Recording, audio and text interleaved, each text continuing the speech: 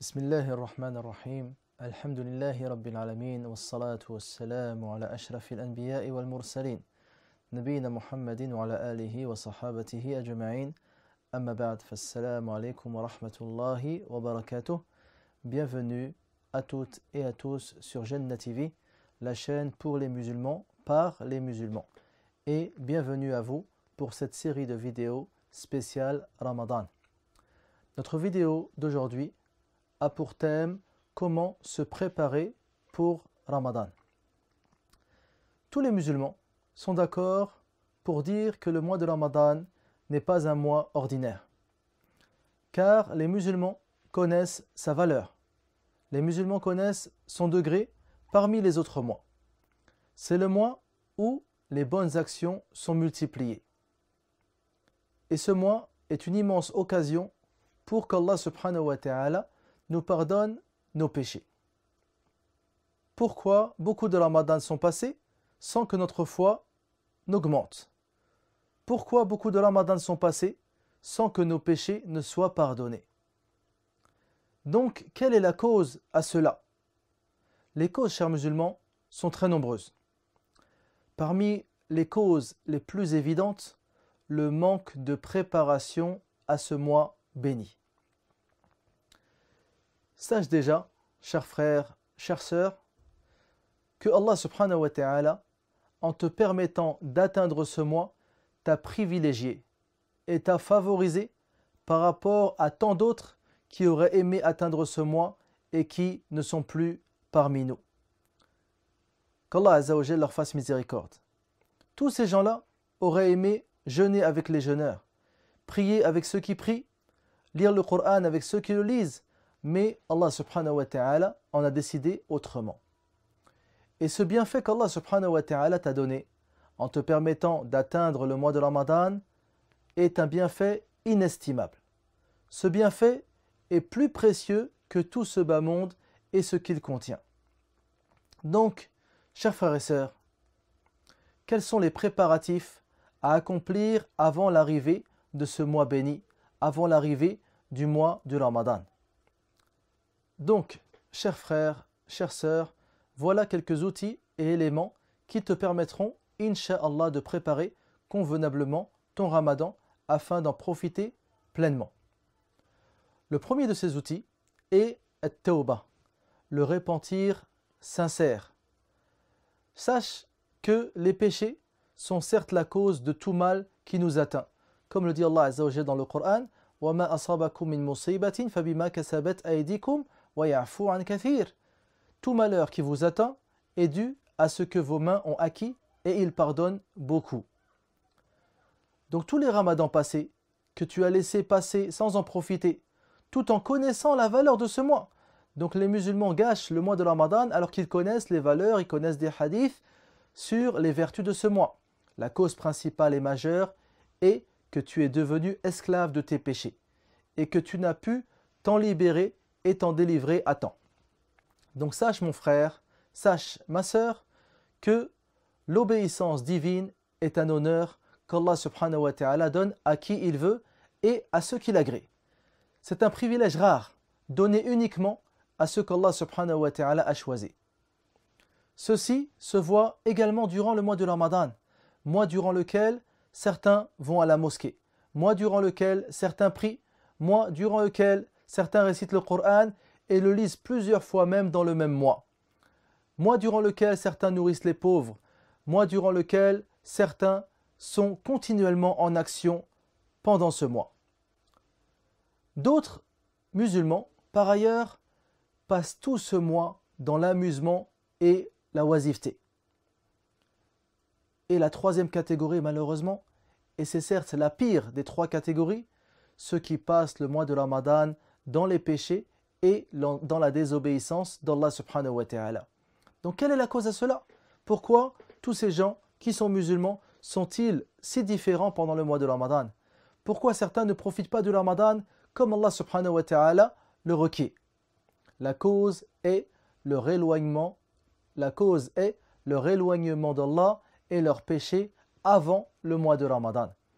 C'est pour cela que Allah subhanahu wa ta'ala avilit ces musulmans par son éloignement pendant le ramadan. Donc celui qui est privé du bien de ce mois est le grand perdant, comme l'a dit le prophète sallallahu alayhi wa sallam, Inna hadha shahra qad wa fihi laylatun min shahr.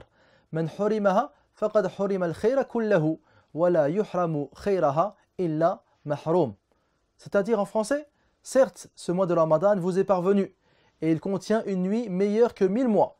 Quiconque en est privé privé de tout bien et certes ne peut en être privé qu'un dépossédé. Et la seule et unique réponse à ce problème est le repentir, at-tawbah. Le repentir par lequel le serviteur se débarrasse de ses péchés. Ces péchés qui viennent s'interposer entre toi et entre les vertus du mois de Ramadan. Ces péchés qui viennent s'interposer entre toi et la miséricorde divine de ce mois béni. Le repentir, Inch'Allah, te permettra d'accéder au cercle privilégié de ceux qu'Allah agrée et ceux à qui Allah Azzawajal permet de profiter de ce mois dans l'obéissance. Le repentir sincère, at-tawbah, doit remplir quatre conditions pour être accepté. La première de ces conditions, la sincérité envers Allah le Très-Haut. Al-Ikhlas, tu te repentis pour Allah et pour personne d'autre. La deuxième condition, le remords, ce que l'on appelle al-nadam, pour le péché qui a été commis. La troisième condition, l'arrêt immédiat, ce que l'on appelle al-iqla, de commettre le péché, tu t'arrêtes immédiatement de commettre euh, ce péché. La quatrième et dernière condition, la détermination, al-azima, à ne pas retourner de nouveau à ce péché dans l'avenir. Chers musulmans, chers musulmans, la deuxième clé pour réussir son ramadan se trouve dans le fait de se libérer de certaines occupations pendant ce mois. Essaye, chers musulmans, chers musulmanes, d'être le moins occupé possible pendant ce mois, car tout temps libre peut être utilisé dans l'adoration. Essaye par exemple d'acheter la nourriture nécessaire à ce mois en moins de fois possible. Si tu peux, tout acheter, nourriture, achat de avant le Ramadan, cela serait l'idéal, inshallah. En gagnant du temps, tu pourras l'optimiser et tu pourras l'utiliser dans l'adoration de ton Seigneur. Tu pourras ainsi lire le Coran al-Karim durant ce mois. Tu pourras ainsi être assidu aux prières à la mosquée. Tu pourras ainsi visiter tes proches. Tu pourras ainsi visiter les malades. Tu pourras ainsi profiter de ce mois pour appeler d'autres à l'islam et bien d'autres bonnes actions encore. Ce mois, en réalité, n'est constitué que de 720 heures. 720 heures et chaque instant doit être utilisé dans le bien et dans l'adoration. Sache que même ton repos, lorsque tu te reposes, tu fais une sieste ou tu dors la nuit, tu peux en espérer la récompense si tu te reposes pour être en forme pour l'adoration.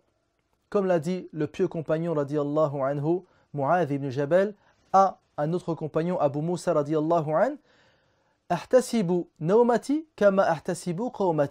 J'espère la récompense quand je dors, comme je l'espère lorsque je suis éveillé. Rapporté par Al-Bukhari.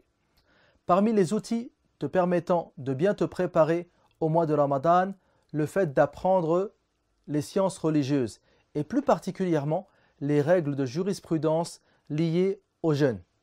Le jeûne, comme les autres obligations religieuses, doit être étudié et compris par le musulman.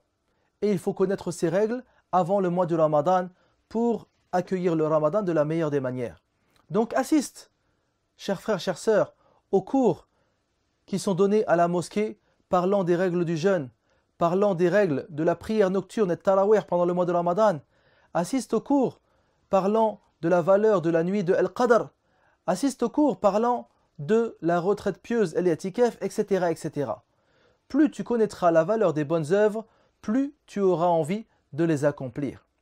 Et plus tu connaîtras le mérite de lire le Coran al-Karim, plus ton cœur sera ouvert et aura envie de le lire. Donc assiste donc au cours à la mosquée et ne gâche pas cette occasion de t'instruire. Si tu ne peux le faire, à ce moment-là, achète et lis un livre traitant du Ramadan, ou bien écoute un audio ou visionne une vidéo sur Internet parlant du mois de Ramadan et c'est bien fait.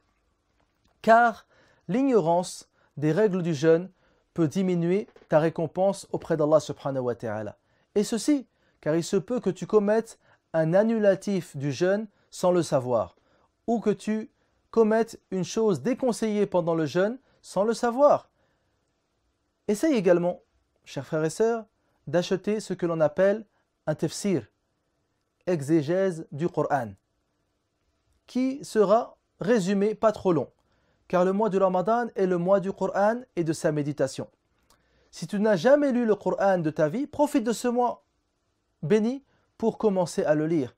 Même en français, si tu ne maîtrises pas l'arabe, cela sera un encouragement pour toi pour apprendre l'arabe et pour pouvoir lire le Coran dans la langue de sa révélation.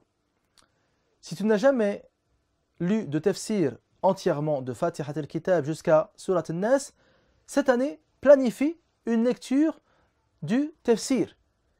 Également, si tu as appris des sourates dans le passé que tu as oublié, ce Ramadan, Inch'Allah, sera une très bonne occasion de planifier la révision et pourquoi pas la mémorisation de nouvelles sourates. Parmi les outils également nous permettant de nous préparer pour ce mois de Ramadan, le fait d'invoquer, ad-du'a, en invoquant beaucoup notre Seigneur avant le mois de Ramadan. On invoque avec insistance notre Seigneur qui nous facilite tous, moi comme à vous, l'obéissance pendant ce mois béni.